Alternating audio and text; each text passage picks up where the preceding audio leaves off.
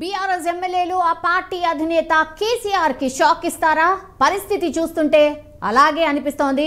ఎందుకంటే త్వరలో బీఆర్ఎస్లోకి ముగ్గురు ఎమ్మెల్యేలు జంప్ అవుతున్నట్టు వార్తలైతే బలంగా వినిపిస్తున్నాయి. ఎమ్మెల్యేలు దానం నాగేందర్ వెంకట్రావు ప్రకాష్ గౌడ్ కాంగ్రెస్ నేతలతో టచ్లో ఉన్నట్టయితే మనకున్నటువంటి సమాచారం. పీసీసీ పెద్దలతో దానం నాగేందర్ చర్చలు జరుపుతున్నట్టయితే తెలుస్తోంది.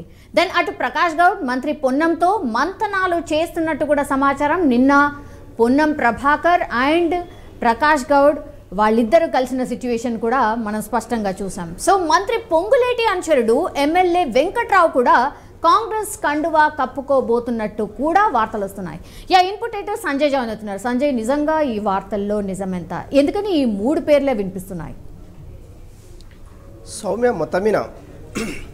బీఆర్ఎస్ అధికారం కోల్పోయి ఒక నెల రోజులు గడుస్తున్న విషయం మనందరికీ తెలిసిందే. కొత్తగా కొలువుదిరిగినటువంటి కాంగ్రెస్ గవర్నమెంట్ వైపు రే ముఖ్యంగా రేవంత్ రెడ్డికి ఉన్నటువంటి యాక్సెస్ ఆయన టీడీపీలో పనిచేశారు ఆయన బీఆర్ఎస్లో పనిచేశారు బీజేపీలో పనిచేశారు రేవంత్ రెడ్డి. ఇప్పుడు తెలంగాణకు కాంగ్రెస్ నుంచి ముఖ్యమంత్రిగా ఎన్నుకోబడ్డ విషయం మనందరికీ తెలిసిన విషయమే. ఇప్పుడు ఎప్పుడైతే అధికారంలో ఉన్నటువంటి పార్టీ వైపు ప్రతి ఒక్కరు చూస్తున్న విషయము గతంలో జరిగింది జరిగి కళ్ళ ముందు కనిపించినటువంటి దాఖలాలు చాలా ఉన్నాయి. ఒకటి ఇప్పుడు సోషల్ మీడియాలో బాగా అల్చల్ చేసేది చెక్కలు కొట్టేది ఒకే ఒక అంశం ఏంటంటే కాంగ్రెస్ నుంచి కాంగ్రెస్లోకి బీఆర్ఎస్కి సంబంధించినటువంటి ఎమ్మెల్యేలు వెళ్తున్నారనేసి సోషల్ మీడియాలో బాగా చెక్కలు కొడుతున్న విషయం మనకు తెలుసు.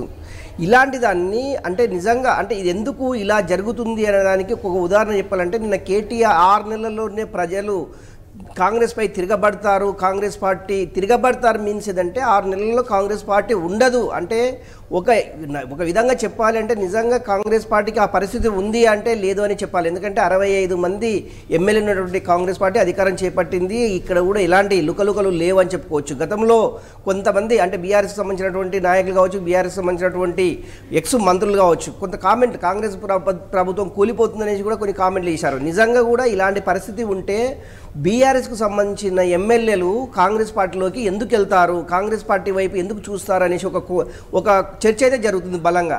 ముఖ్యంగా తెలంగాణ రాష్ట్రంలో జరుగుతున్నటువంటి ఇదే చర్చ ఇదే బాగా బలంగా వినిపిస్తున్నటువంటి ఒకటి ఖమ్మం సంబంధించి ఖమ్మం జిల్లాకు సంబంధించినటువంటి పొంగులేటి అనిచేడు వెంకట్రావు అనే గతంలో కూడా ఒక క్లారిఫికేషన్ ఇవ్వడం జరిగింది. కాంగ్ బిఆర్ నేను బీఆర్ఎస్లోనే ఉంటాను కాంగ్రెస్లోకి వెళ్ళను అనేసి. కాకపోతే ఏంటంటే ఇక్కడ ఉన్నటువంటి వెంకట్రావు కావచ్చు దానం కావచ్చు అదేవిధంగా ప్రకాష్ గౌడ్ కావచ్చు వీళ్ళు ఎందుకంటే గతంలో బీఆర్ఎస్ పార్టీలో కొంతకాలం మాత్రం పనిచేశారు. తర్వాత వాళ్ళు గతంలో కాంగ్రెస్ పార్టీలో మంత్రుల దానం నాగేందర్ కాంగ్రెస్ పార్టీలో మంత్రి మంత్రిగా పనిచేశారు. అదేవిధంగా కాంగ్రెస్ పార్టీ పార్టీలో చాలా కాలం పనిచేశారు. కాకపోతే ఒకటి బీఆర్ఎస్ అధికారంలో ఉంది కనుక బీఆర్ఎస్లో జాయిన్ కావడము బీఆర్ఎస్ నుంచి కూడా గెలవడం జరిగింది. మొత్తం మీద ఇవన్నీ ఏంటంటే ఒకటి వాళ్ళు వాళ్ళకు కాపాడుకుంటూ వాళ్ళకు సంబంధించినటువంటి స్థిరాస్తులకు స్థిరాస్తులకు సంబంధించినటువంటిది కొంత పదిలంగా ఉండాలి అంటే అధికార పార్టీ వైపు ఉంటేనే కొంత అంటే మనశ్శాంతిగా ఉండొచ్చు అనే ఉద్దేశంతో కొంత ఈ యొక్క అలజడి అయితే నెలకొంది చెప్పుకోవచ్చు. ఓన్లీ వీళ్ళు ముగ్గురే ఉన్నరా లేకపోతే ఇంకెవరన్నా ఈ కాంగ్రెస్ పార్టీ వైపు వచ్చే అవకాశం ఉంది అంటే నిజంగానే కాంగ్రెస్ వైపు చూస్తున్నట్టు చాలామంది చూస్తున్నటువంటి చూస్తున్నారనేసి ఈ యొక్క అంటే అది సోషల్ మీడియాలో హల్చల్ చేస్తున్నటువంటి సందర్భము మనకు చాలా స్పష్టంగా కనిపిస్తుంది. నిజంగా నేను మనకు కలిసినటువంటి పొన్నం ప్రభాకర్ ప్రకాష్ గౌడ్ని కలవడము అదేవిధంగా స్వామి గౌడ్ కలవడము ఇలాంటి వారిని కలవడం వల్ల ఈ వీటి వీటికి కొంత బలం చేకూరే అవకాశం అయితే చాలా స్పష్టంగా ఉంది.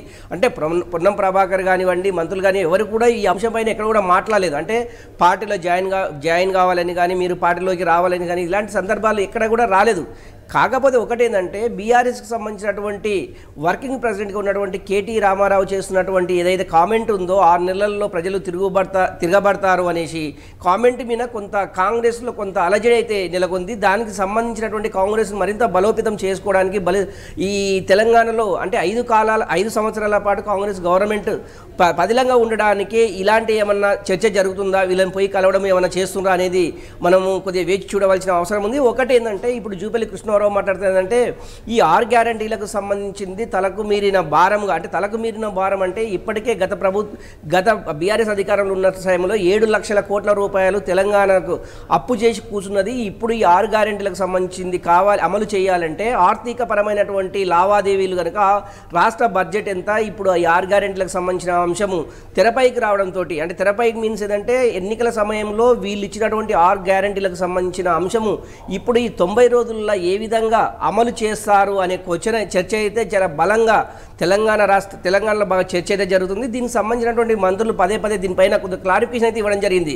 ఒకటి తుమ్మల నాగేశ్వరరావు అంటే రైతు బంధుకు సంబంధించింది కావచ్చు అదేవిధంగా అంటే ఒకటి అంటే ఈ ఎమ్మెల్యేల యొక్క జాయినింగ్కి సంబంధించింది అంటే ఈ ఆర్ గ్యారంటీలకు సంబంధించిన అంశమే తెరపైకి రావడంతో ఈ ఎమ్మెల్యేల యొక్క కొను అది జాయినింగ్ విషయం తెరపైకి వస్తుందని చెప్పుకోవచ్చు. అందులో భాగంగా ఈ ఆర్ గ్యారంటీలో ఒకవేళ వీళ్ళు సక్సెస్గా చేసినట్లయితే ఈ బీఆర్ఎస్కి సంబంధించినటువంటి కావచ్చు ప్రతిపక్షాలకు వీళ్ళు తావు మాట్లాడే అవకాశం ఇవ్వకపోవచ్చు. ఈ ఆర్ గ్యారంటీలకు సంబంధించిందే మాత్రమే తెరపైకి వస్తుంది. ఈ వంద రోజుల్లో ఏ విధంగా దీన్ని అమలు చేస్తారు అనేసి బీఆర్ఎస్ నేతలు చేస్తున్నటువంటి విమర్శలు. అందులో భాగంగానే ఇక్కడ ఉంటే అంటే నిజంగా కూడా ఆరు బీఆర్ఎస్ పార్టీ బీఆర్ఎస్ పార్టీ పేరు మార్చుకుని టీఆర్ఎస్గా మారబోతోంది అని ఒక చర్చ నడుస్తోంది. రోజుకో పార్లమెంట్ నియోజకవర్గానికి సంబంధించిన నాయకులు పిలిపించుకొని హరీష్ రావు కావచ్చు కేటీఆర్ కావచ్చు మీటింగ్స్ పెడుతున్నటువంటి సిచ్యువేషన్.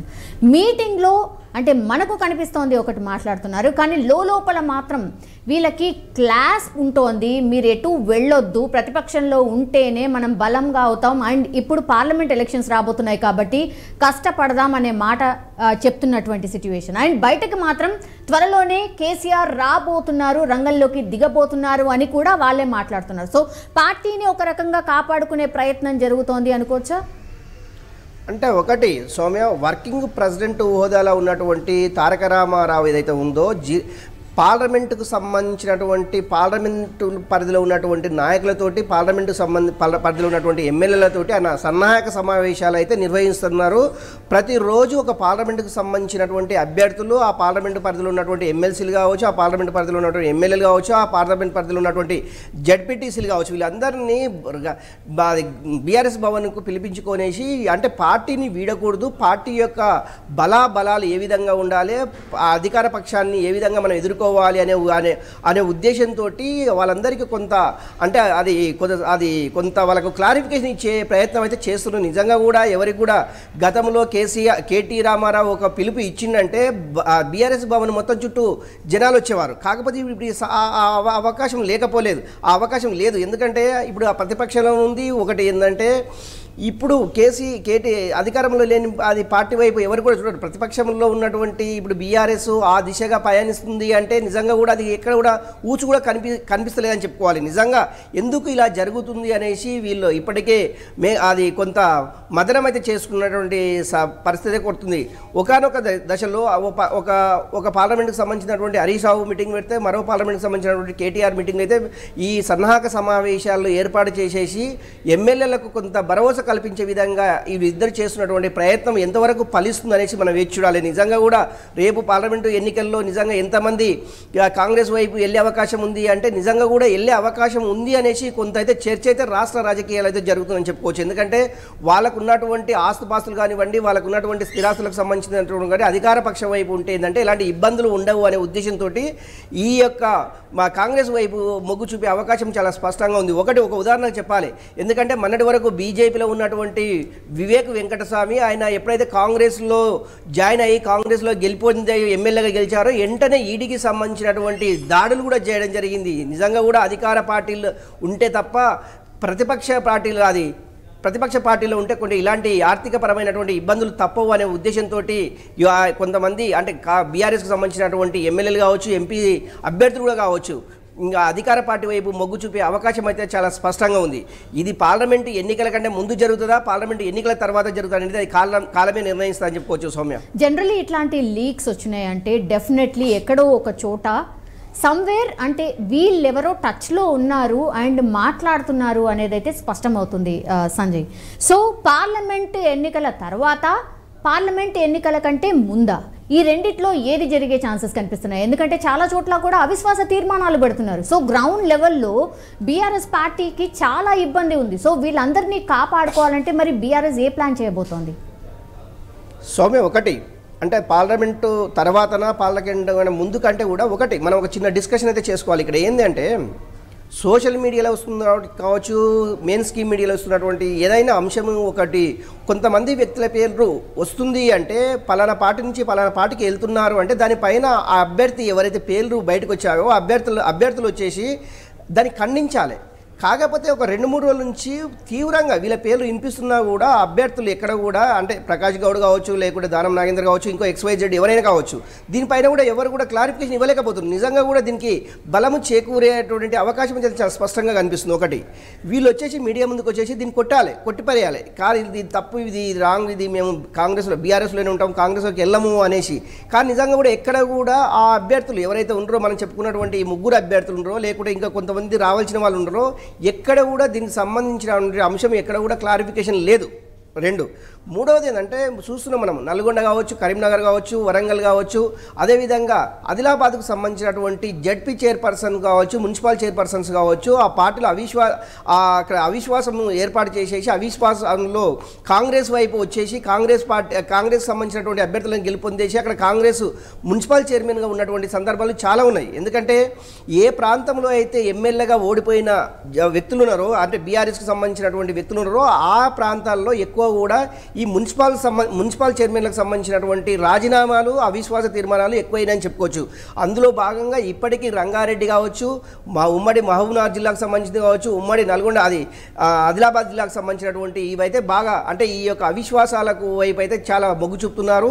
ఎందుకంటే కాంగ్రెస్ పార్టీకి సంబంధించినటువంటి వాళ్ళ కౌన్సిలర్లు ఏదైతే తక్కువ ఉన్నారో వాళ్ళే అవిశ్వాసం పెట్టేసేసి బిఏ కాంగ్రెస్ వైపు బీఆర్ఎస్లో ఉన్నటువంటి వాళ్ళందరినీ కాంగ్రెస్ వైపు తిప్పుకొని కాంగ్రెస్ పార్టీ విజయం సాధించిన సందర్భాల్లో ఈ రెండు ఈ పది పదిహేను రోజులు జరుగుతున్నటువంటి సందర్భాలు చాలా చాలా చూసాం. అందులో భాగంగానే నిజంగా కూడా ఇక్కడ ఉంటే ఉపయోగం లేదు అనే ఉద్దేశం ఏమన్నా కా బీఆర్ఎస్లో ఉన్నటువంటి ఎమ్మెల్యేలకు అనిపిస్తే ఆల్మోస్ట్గా అది కాంగ్రెస్ వైపు చూసే అవకాశం ఉంది. నిజంగా కూడా ఈ పార్లమెంటులో పార్లమెంట్ ఎన్నికల వరకు ఉంటారా లేకుంటే పార్లమెంట్ ఎన్నికల తర్వాత అనేది టైం బాండ్ అది టైం డిసైడ్ చేస్తుంది. వాళ్ళ యొక్క సో అది వ్యక్తిగత మీద ఆధారపడి ఉంటుందని చెప్పుకోవచ్చు. ఏదేమైనా కూడా బీఆర్ఎస్ నుంచి కాంగ్రెస్ వలసలు అనేది కొంత చర్చ అయితే బలంగా సాగుతుందని చెప్పుకోవచ్చు Soumya. Yes all right Sanjay. మొత్తం మీద అది బీఆర్ఎస్ ఎమ్మెల్యేలు అయితే ఆ పార్టీ అధినేత కేసీఆర్కి షాక్ ఇచ్చేలా కనిపిస్తోంది. పరిస్థితి చూస్తుంటే మాత్రం ఇలాగే ఉంది. ఎందుకంటే త్వరలో బీఆర్ఎస్లోకి ముగ్గురు ఎమ్మెల్యేలు జంప్ అవుతున్నట్టయితే వార్తలు అయితే బలంగా వినిపిస్తున్నాయి.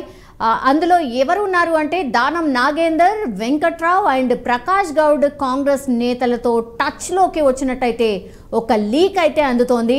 అండ్ పీసీసీ పెద్దలతో దానం నాగేందర్ చర్చలు జరుపుతున్నట్టు సమాచారం. అండ్ ప్రకాష్ గౌడ్ అయితే నిన్న ఏకంగా మంత్రి పొన్నంతోనే మంతనాలు జరిపినట్టు కూడా మనమే చూసాం. సో మంత్రి పొంగులేటి అనుచరుడు ఎమ్మెల్యే వెంకట్రావు కూడా కాంగ్రెస్ కండువా కప్పుకోబోతున్నట్టు కూడా వార్తలు వస్తున్నాయి. ఇవి వార్తలేనా? కానీ నిజంగా ఈ ఇది జరగబోతోందా? మరి ఓన్లీ ఈ ముగ్గురు ఎమ్మెల్యేనా లేకపోతే ఈ లిస్ట్ ఇంకా పెద్దగా ఉండబోతోందా అనేది చూడాల్సిందే. మరి పార్లమెంట్ ఎలక్షన్స్ కంటే ముందా తర్వాత అనేది కూడా వేచి చూడాల్సిందే.